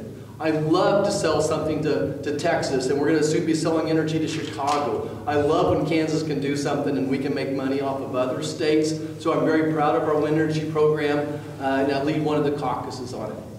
And I, I- sorry, I didn't, I didn't uh, introduce myself. My name is Scott Cruz, and I am a constituent here. Thanks, And, but when you speak to the president about that, do you feel his comment? I mean, I guess you said you didn't hear it, but will you speak to him about that and tell him how important that is to, to uh, energy production here in Kansas? You know, I would say this, my, my time with the president is very finite, and I, I pick and choose my subjects really carefully. And wind energy's in a pretty good spot right now. There's rhetoric, and then there's policy, and wind energy's in a pretty good policy spot right now as well. Okay. Yeah, I back have one for you. Yes, sir. For the last probably 20 or 30 years, we've been told that Social Security is going broke. What is your plan to save it? And what is your timetable for introducing that plan? Great. I think number one is that we're not going to touch anybody's social security or Medicare. Anybody that's on it right now or is close to going on it, we're not going to touch that. But you're right, it's unsustainable to keep doing what we're doing. And much like President Reagan back in 1992 called upon Bob Dole to save Social Security and make some tweaks there, I think that's what um, Congress will have to do this time as well. You know, a, a timetable, um, to, be, to, be, to be frank, if it's not on President Trump's to-do list, there's just not much happening up there right now. Um, I think he's more focused on several other issues, build the wall, uh, infrastructure, fixing health care. And so I'm supposing that's going to be my timetable. Um, I don't like to waste my time, so my timetable is probably President Trump gets reelected, so sometime after that. He does not introduce legislation. I understand that, but he can veto anything else. Yes, he could. I could not envision him vetoing anything to do with saving Social Security. You have not answered the question about how to save it. So, you know, try and answer it again. I think I have, but I'll try to answer it again. You know, several thoughts. Number one is I'm shocked how small amount of oxygen there is in Washington D.C. for any type of issues. And as long as Nancy Pelosi and the Democrats want to just make a mockery of justice and continue to try the president over and over again, nothing's happening. So I don't think there's enough oxygen to take on the problem right now, nor are they interested in taking it on. So I'm a very much a realist. Last year on the House side, we passed over 800 pieces of legislation that were never even taken up on the Senate side. So I'm not going to waste my time trying to fix the problem today um, when, I, when, we, when I got other issues up in front of me. The way we, we're going to have to fix it is I don't think a 25-year-old can expect to, to get some of these uh, things starting at age 65. Uh, when Medicare and Social Security were started, the life expectancy was in the, what, 62 or 63? Who would have thunk that now people are going to spend 20 or 30 years in retirement? So I don't think a young person can expect to get all these benefits. Here's something else I'm going to do to fix it, though, even more importantly. Twenty-eight percent of the federal budget is being spent on health care. A big chunk of that, of course, is Medicare, and Medicaid, and the VA system. We have to drive the cost of health care down, which according to small businesses is the number one problem. So next, you should ask me, how are you going to drive the cost of health care down? Three basic principles. Transparency, innovation, and consumerism. We need to make healthcare more transparent. We get more information when we go to a restaurant and get a menu than we do for our healthcare. So back in January, the president asked all hospitals to share their cost. Um, And this caused, created a big uproar. The hospitals don't want to do that. And they said it wasn't a good way to do it, that the chargemaster was uh, deceiving. And my question was, so what do you want to share? What type of information can you share with the public? And so far, nothing but crickets out of the hospitals. So I need their transparency. Physicians, anyone who delivers healthcare they need to be more transparent. I'll give you one really important example. Nothing's went up faster than the cost of pharmacy. There's something called a pharmacy benefit manager, which is basically a wholesale organization. There's only four of them in the country. They're controlling 90% of prescriptions. So if you go to your local pharmacist here and say it costs $100 for that prescription, that pharmacy benefit manager is getting $33 of that. Then they're giving legal kickbacks to big pharma and insurance companies. The Americans, we deserve to see that. Number one, I don't think it's right. And I think that all types of discounts and coupons, all the games are playing should go to the customer. So that's the- probably the best thing that I do. That's what I know how to do is to drive the cost of health care down. May I give you one s- s- a solution? Yes, sir. Currently, uh, once you reach $127,000 in income, you pay no more into Social Security. Drop the cap on that. Why does somebody who earns $100 million a year not pay Social Security on that amount above 127? I get it. It's really. The Democrats would certainly get, get behind that. I I totally get it, and I think that's part of, the- that would be part of the solution, absolutely. Thanks. Yes, sir. Doc, how's it Stage, going? stage forty retired physician, any, any bit closer to making pharmacy transparent? To make them come out and show how much profit they make? How, to, to, to ask them to justify hundred percent, two hundred percent, thousand percent price increases and stuff and controlling them? Can't you, at, at a, and, and I think, I think the cost of drugs went up exponentially when uh, drug insurance came along. Because they knew the, the patient wasn't going to pay for the drug, it was going to be the insurance company that paid for the drug, so they could increase their price, get money from the insurance company, that then the patient, you know, if you had to pay cash, why then you were penalized for that. Can't you control those guys at all? I mean, I know that, I know that for every congressman, there's, for every person in Congress, there's what, 10 drug representatives, lobbyists for each one? It, it, it's a huge number. And, and, and, and campaigns are run on huge amounts of money from drug companies. And, and so I understand why they don't want to be controlled. I mean, how, how they can get out of being controlled by Congress. You have our presidents in charge of controlling, but only doing little things over here and over there. Why, why can't you put some teeth into it? Uh, You know, a couple thoughts. Of the 300 different organizations that have contributed to our campaign, I can only think of two that are pharmacies, but, but I I maybe have missed a couple. Um, Number, next is a lot of the, a lot of the things that the president has done is actually slow down the cost of pharmacy. So I think my number's right, that pharmacy only went up about 1% this past year.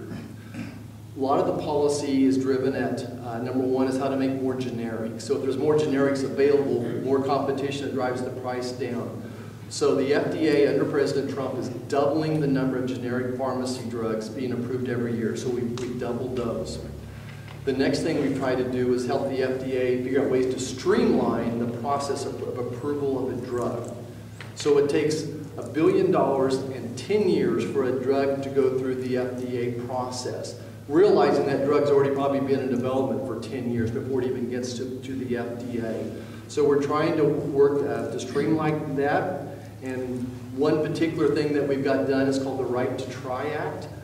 So if you have a terminal illness, and a drug has made it through phase one of the FDA process, that you have a right to try that drug. So the, the secret is getting more competition at the pharmacy levels so that it'll drive the cost down. So it's amazing. It doesn't, it can't be just two drugs though. We need three or four competitors on the market. I've seen great graphs that show that's what drives the price down is when there's three or four drugs to competition. So my solution has always been to promote competition and transparency as opposed to government price control. The president has suggested that we consider some price controls. Um, but I don't think that's um, a very capitalistic way to look at it. I do think that pharmacy's done some incredible things for innovation. So I think we, we made some progress on my transparency uh, prescription. We, got, we do have several legislation out there for transparency. Nancy Pelosi will never see it, let it see the light of day.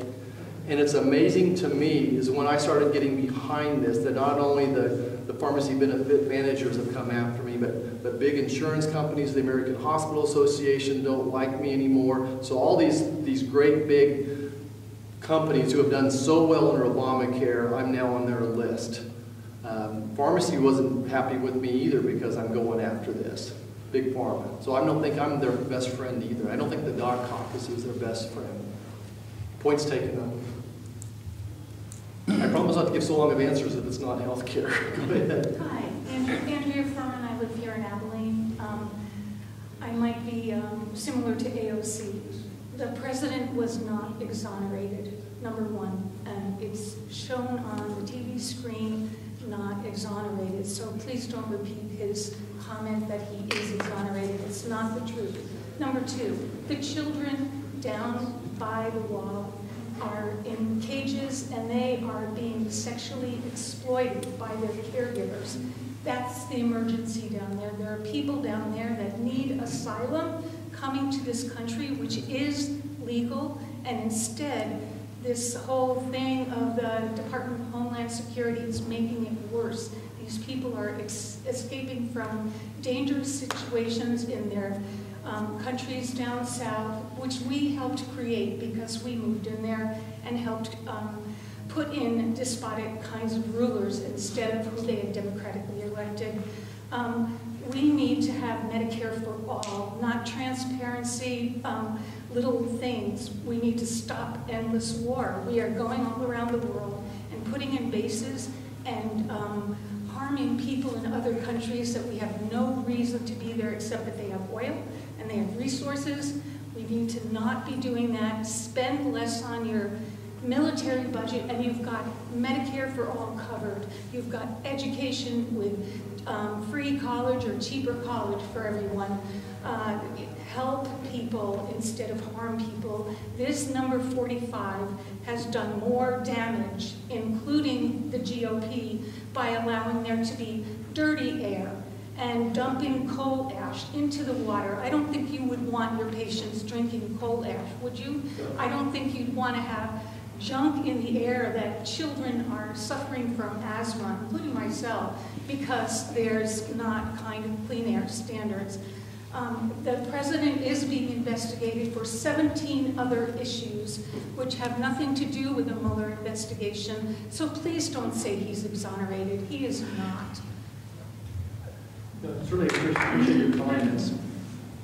Just because CNN puts up something that says not exonerated doesn't, it doesn't mean that, I listen to you, I listen, I listen to you, I listen to you, will you listen to me now? Yes, sure. Okay, so just because CNN puts up they're not exonerated, doesn't make it true. This whole investigation was about collusion. That's what this was supposed to investigate. The report clearly says no collusion. There was no collusion. And if there's no collusion, there can't be obstruction of justice. If there's no collusion, there was no intent to make a crime. If he didn't make a crime, how, could, how can there be collusion? He's fully exonerated. Can we please move on? See, this is just it. They're just going to keep this drowning. You know what this is going to mean? This is going to mean President Trump's going to get reelected in 2020 because Americans are sick and tired of this, just continuing this drama. He's being tried on national TV every night.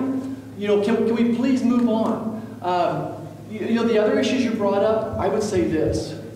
We have a lot of the same goals. I want everybody to have health care. But Obamacare has been a miserable failure. The most miserable failure I've ever seen in my life.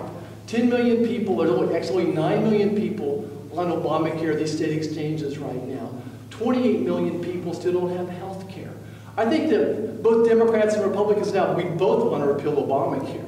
You know, every major Democrat candidate for president wants to repeal Obamacare and re- replace it with Medicare for all. Medicare for all is Medicare for none. You should be, if you're on Medicare now and you hear them talk about it, it should scare you to death. It's going to look like Medicaid. People will be standing in line to get their health care. You won't get your joint procedure done for two years. You won't be able to get your MRI. If you get your health insurance through your employer, it's the end of that. If you get health care through the VA, it's the end of that as well. Uh, it would triple your taxes. Do I need to go on? I believe that patients and families and doctors should make healthcare choices. Um, and I think that we want quality outcomes. We agree upon that. We want cleaner air. I agree with you. The air of Kansas is cleaner today than when I was growing up. I'm going to keep moving in that direction. The carbon output of this country has been on a nice steady decrease since 2004. Let's keep going in that direction, but let's don't throw the baby out with the bathwater. I'll let you respond. Yeah. Well, you know, I'm, I'm sorry, I, I disagree with you extraordinarily. Um, we're one of the only sort of um, sophisticated countries in the world that doesn't have health care for its citizens compared to Britain and France and Canada and, you know, it, it, it, that's kind of crazy. Um, I don't know, uh, I'm sorry, I know you believe what you believe, and um, the Mueller report that got described um, on mass media as well as some other media was that the Barr um, description says that he was not exonerated, and um, that there, the um, investigation was just to see if there was collusion with Russia. But I am in agreement with Adam Schiff. I don't know if you caught his talk the other day where he did not agree with what the GOP was allowing to happen in terms of all this um, misbehavior. Um, the, the president's uh, group of people, his son, and meeting with Russians and asking Russia to help him with the election. I mean, he's, this is not a president that I would be having to call my president. He's not my president. He's a duly elected president, and there's also, it's interesting that uh, most people in Congress, certainly the Republicans think Schiff should resign, that he's so biased and spreads so much false information. But let's move on. Go ahead. Roger, Harold Pertoys from Memorial Health System. Um, I think that one thing I would like to say is that the 340B is very important. 340B pharmacy is very important to uh, prescriptions and reduction of prices. We're able to do it in-house and with our retail pharmacies as well. So any help you can continue to give us with 340B would be great. And I appreciate the support you've given them today. So. Right. So we've been a big fan of 340B, and I certainly understand how it's helped small hospitals. You know, the, the problem is big hospitals like Duke University have made millions, if not billion dollars on it, so they took a good program and did some bad things with it. And so again, I'm trying to not throw the baby out with the bathwater. So it's, I'm going to try to protect it for small hospitals, but I can't protect it from the big hospitals who are abusing the system. And I think that's, it's very disappointing to me that the American Hospital Association can't tell the difference because we are going to get the baby thrown out with the bathwater if they don't try to carve this out just for small hospitals. So, but thank you. I, certainly all my critical access, are you guys critical access? We are all, all of them think this is a very vital thing. It's been a great thing and it's, It's been great for our patients especially, and it's reduced their costs. So I think that's important. And I think that's an example of pharmacy trying to respond, trying to do the right thing. Yeah. So, Tim, Tim, I'll get you next Tim with the local newspaper, she brought up the kids in cages. So what do we do with them? Send them back to possibly a life they don't want to live? Yeah, so I, I think that's, so again, I've been to the border, I didn't see kids in cages, okay? I went to the border and they showed, I went into a camp, I played soccer with the kids. Um, it was a tent city, but it was the most beautiful tent city I've ever seen. Uh, it was nicer than anything we could give for our military, you know, it's air conditioned, uh, run, they got showers, they got heat, they've got a physician, they've got nurses, they've got psychologists, they've got a dentist. They're getting better care than my kids get. In a cage. I, I didn't see these cages, you're, I didn't see these cages you're talking about. Obama. Yeah, so I, I don't, so you should go to, you should go to the board your, your, yourself, okay? And so I, I didn't see kids in cages. Um, I, all I can do is my personal experiences. I didn't see that. Um, but we were just inundated with them, and most of these kids had been sent by their parents from Central America. Their story was almost exactly the same. They paid a coyote five, seven thousand dollars. They said, cross the border illegally, let the Americans capture you. We want the Americans to capture you because as soon as that happens, you get great health care, you're going to get food and water, uh, access to telephones, and then call Uncle Joe in wherever he lives, and they'll try to work out how to get, get you there. Um, the asylum system is broken. The problem with the asylum is that for every 100 people that ask for asylum, maybe only 10 or 15 are legitimate. The fact that there's not a job for you back home is not a reason for asylum. Um, so I, I want to solve the problem. It's not simple. We're just we're overwhelmed right now. You get a question next. Go ahead. Betty Absher, um, like member of the Veterans of Foreign Wars and also the American Legion. And our big concern last year was uh, health care through the VA, hospitals, improvements, doctors and all. Are we health, any healthier now this year than we were last year? Yeah, I'm going to, how do you, compared to three or four years ago, how do you think we're doing with veterans' health? I think we're doing a little better. It seems to be, and some of the guys are less complainful as they come to our meetings and stuff. So they, before, they were, they were not getting treated. Sometimes they would show up for an appointment and be turned away. And when they do that, they don't get paid for that travel. But now they're paying them for the travel, even if they don't get to see a doctor that day. So that's pretty, I think it's being better.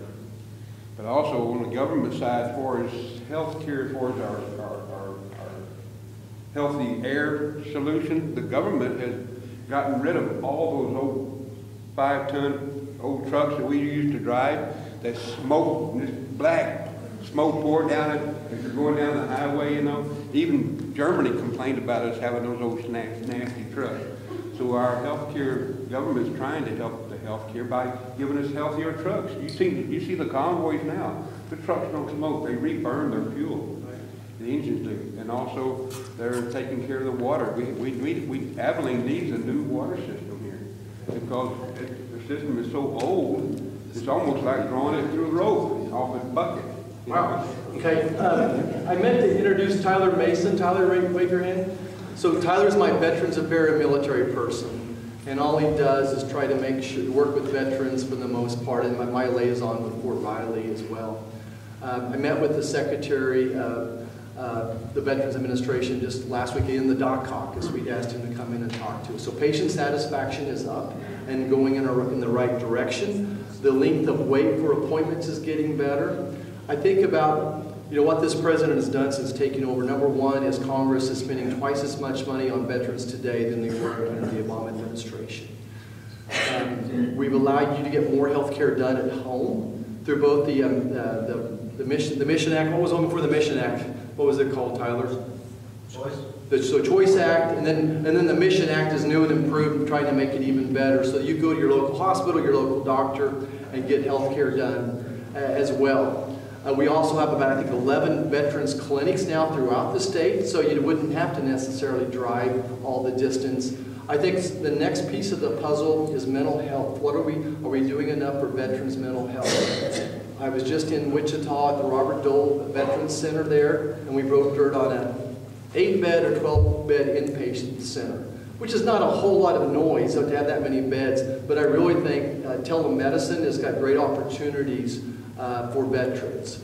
I can't get my psychiatrists, mental health people to go throughout the state, but it's pretty easy to, if you would walk into one of these 11 clinics, I say everybody in Kansas is probably within 60 miles of one of those clinics, and be able to hook up with telemedicine and follow you through some of the unique uh, mental health challenges for our veterans as well. So I think we're trying. It's not perfect.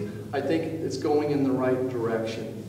Um, you know, several years ago, I was ready just to blow up the VA. I just didn't think it could ever be fixed. But uh, the president's proven me wrong, and part of it's accountability. We passed this accountability legislation, and I forget how many hundreds of people that work for the VA system have been let go. So, we're trying. And if you feel like it's going the wrong direction, let Tyler know. Yes, sir. Real quick question, and it might relate to you a little bit. Recently, two of my wife's uh, generic drugs have been recalled. Do the pharmacies know the country of origin for those generic drugs? Oh, I would think so. I would think so. When she asked the pharmacy, they wouldn't or couldn't tell. Okay. There should be, I would, I would just almost bet that the, the company that, that, that it- maybe they didn't have access to that data, but I couldn't imagine. I bet they don't know. Okay. I'm pretty sure. Wow. You don't think. I don't think the pharmacies know, not the, not the local ones here. Is there a reason for that? Controlled by pharma. It's not, it's not, the it's not the retail. You have to realize they're two separate entities, and so if you confuse them to be one, that would be wrong. Retail's a completely different group. I, what I'm saying is I bet Pharma knows, I bet somebody knows where it's Yeah. made, Yeah. but the consumer may not. Yeah. Okay, Yes, sir. Uh, Stephen Gieber with the Kansas Council on Developmental Disabilities, and want to thank you for the spousal impoverishment uh, bill that you- you guys just passed out of the House. We still need to get money follows the person legislation renewed, and uh, I'd also like to have you, uh, I do want to mention that my job takes me to to DC, and I appreciate the fact that you always visit with me whenever I do come up there. That doesn't happen with everyone else that's up there. Um, And, uh, but I would like to talk a little bit about- about the opioid crisis. Can you address some of the opioid Yeah. issues? Right. Where do I start? You know, 150 people die every day from uh, opioid overdose. I'm, I'm close. Maybe it's 170, it's over. So it's a big deal. 150 people dying from it. And again, things that, that I can do at the, at the federal level, things that we can do, things that physicians and hospitals can do as well. I think we can solve the problem better working locally without the government telling us exactly what to do. But when we talk about the federal level, some things we've done. I think, first of all, we've allocated over $5 billion specifically for the opioid issues. I'm really curious if we're just going to, we're to throw this money at the problem or how it's going to be utilized. I'm really concerned that three people in Abilene are going to throw a sign on the front door that says drug rehab here, uh, qualify for the monies, burn through it, and then that patient ends up at Larned Health, okay? Next thing we've done, 90% of the fentanyl, a synthetic narcotic, is made in China, 90% of it. Uh, this drug is so strong that when the drug dog sniffs it, it kills them. It's 50 strong, times stronger than uh, other drugs that I can prescribe. So most of the people that are dying on an overdose are taking this one. They take, they used to take six or eight Percocets to get high. If anybody in this room took two fentanyls, we'd stop breathing. That's what happens. You overdose on narcotics, people don't realize it. You just stop breathing. Um, so, and guess a lot of those were coming in through our U.S. Post Office. I was crying, and we didn't know where it was coming from. We didn't know where, and then we find it was coming from China. Well, we're in China. So President Trump, as part of this negotiations, has insisted that the Chinese have a higher criminal uh, level for people that make get caught making that in China. So to, to them, they're just turning their eyes on and say, oh great, the dumb Americans will buy this. It's a great crop, and you can make it in your garage. So, so those are a, a couple things that we're doing. Next is uh, we need to stop looking as opioid addiction over here and mental health issues over here. It's all this, there's a lot of overlap. If you have a mental health issue, you're more likely to get addicted to opioids. And if you get addicted to opioids, you're going to have a mental health issue. Okay? Things that we can do. I, I think as physicians, we've taken a close look at it, and we've learned that we can do a better job. We don't need to send people home with 40 Percocets because they had their tooth, teeth pulled. Um, I think we've discovered that the OxyContin was way more addictive than we thought we were told it was. So I think that physicians have looked themselves in the mirror. I think the hospitals have looked in the mirror and are trying to figure out things that we can do better as well. Can we manage intraoperative and postoperative pain better with non-narcotics or at least not as much? We were getting dinged. One of the things that the federal government was doing as an indicator is how much pain you were having after surgery, okay? And we would get decreased reimbursement if our scores weren't good. When I saw that happening, all of a sudden, my patients were just snockered when I, when I went back to the post-op recovery room. I mean, I'm not kidding you, the first, and, the, and they had the pain score as well. And um, so there's several things that happened that went awry. So I think we're trying to address those as, you know, look in the mirror, what can we do? Things that we can do at the federal level, and, this as well. Now, I still believe that right now in Kansas, meth and cocaine are a bigger problem than opioids. But Joe Manchin is a great friend of mine, a senator from West Virginia, and what he describes is horrible. Uh, so I, I, think, I think we turned the barometer towards fixing it. Um, and there's so many people addicted. I don't think we have a, we could solve that completely. We got number one to stop the bleeding and slow down the number of addicted I, I, think the telemedicine will be another thing that, that can benefit from this as well. Yes, sir. I'm Harold Slang, I live in Abilene. Uh, Can we do anything for sanctuary cities? They do more to cripple law enforcement than anything I can think of. You know, I, I think administratively, what we're trying, what the president's trying to do is cut their funding. And of course, whenever you threaten the, the city's funding, uh, then it's then we're hurting widows and orphans. You know, that would be the national media attention that we get. So I think what we can do is tie federal funding to people who claim to be sanctuary cities, and we have no sanctuary cities in Kansas. I think that's a miss uh, in a couple of communities. That's, all, it's the only thing I can think of. Yes, sir. Yeah, you, uh, you said that Medicare for all, if we had that, it would be Medicare for none. But they don't seem to have that problem in Canada or in the UK or in Finland or any other developed country. So why is it in the greatest country in the world, the richest country in the world, we can't have Medicare for all? And wouldn't that take a huge burden off of small businesses? They wouldn't have to worry about insurance for their employees. You I think again, disagree with the premise. Most, many, many people in all those countries also have a secondary insurance. So basically, that their Medicare for all basically covers catastrophic things. It looks a lot like Medicaid, and I think that their waiting lists are really long. So it's rationed care.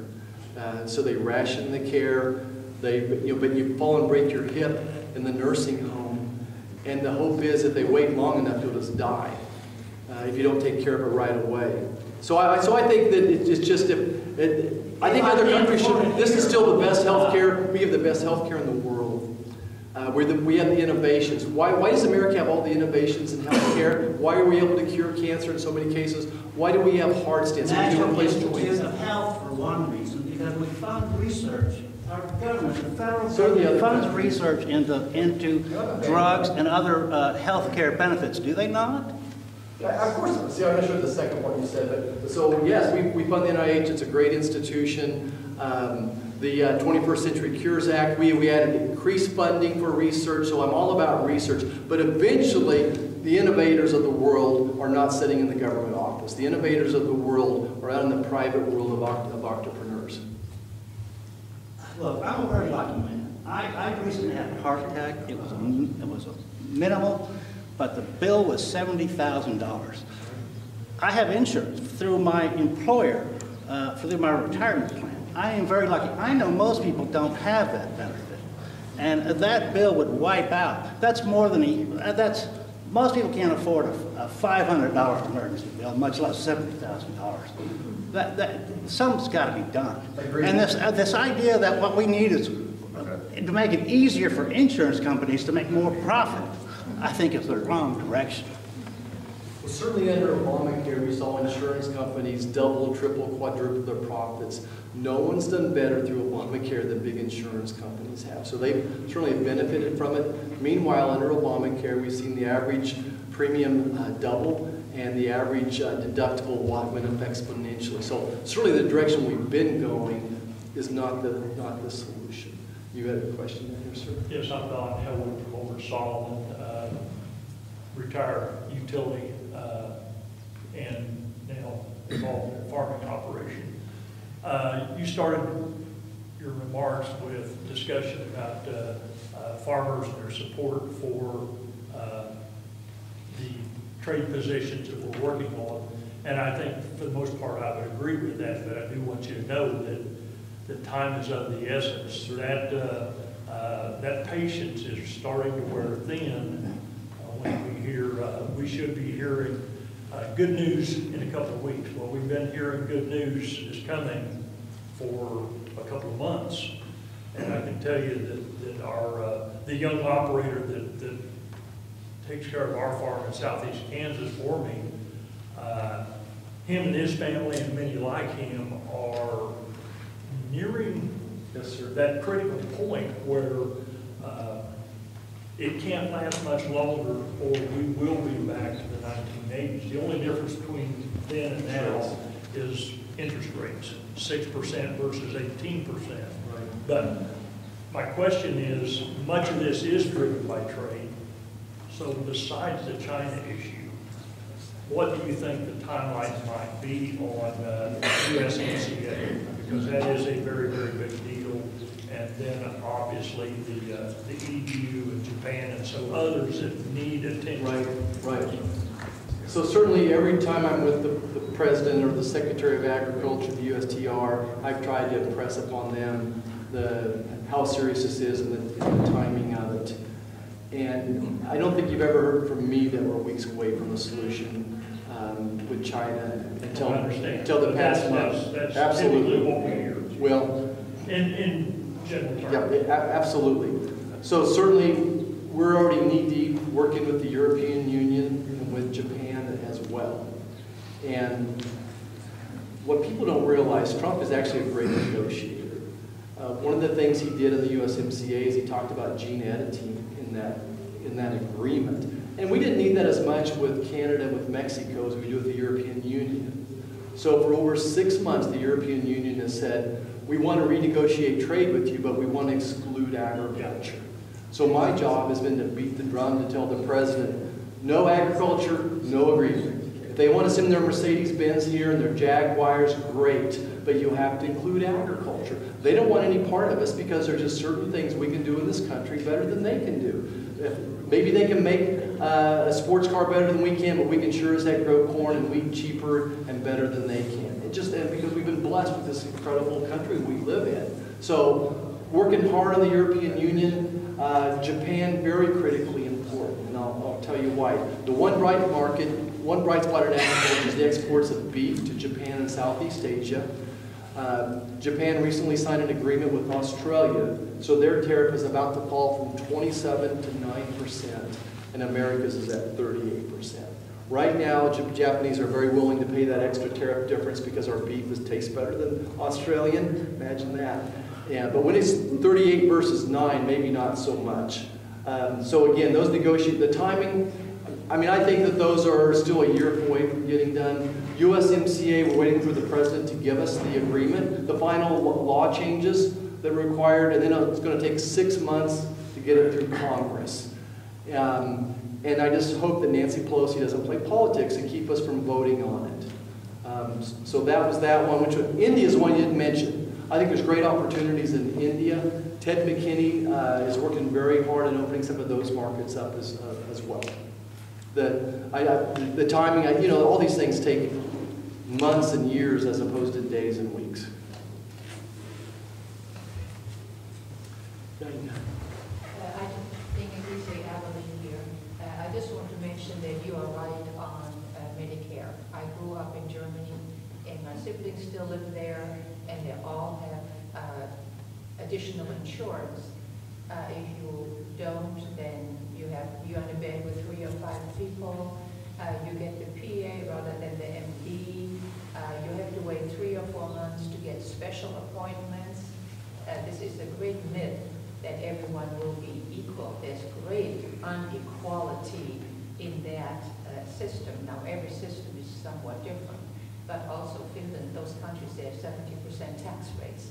I mean, it is, it sounds wonderful, and yes, everyone deserves good health care, but we need to really see the big picture on that.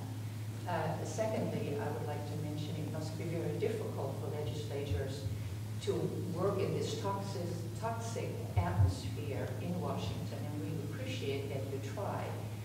Um, Thirdly, what would it take for Congress to work together to get something done? I'm worried about our young people to grow up in this divisive, uh, nasty uh, atmosphere. What example are we setting for our youth? So what will it take for adults to get together for the good of the country? Donuts. Again, my fault, sorry. Oh, I get it. Although, although better next time. I, I, I liked, I had a chocolate something, it was really good. Any, anyway, Inga, um, there's not one solution. I think we have to, why is it so toxic? So let's go to the root of the disease. Why is it to- so toxic? A, a couple comments that I've, that I've tried to understand is um, social media, our ability to get just the news we want to listen to. Uh, You know, you used to listen to Walter Cronkite, and I think he presented, here's the news, it was not an editorial. When I listen to the news today, the national news media, what I made, the decision I made at 9 a.m., they've decided by 5 p.m. if it was right or wrong or not.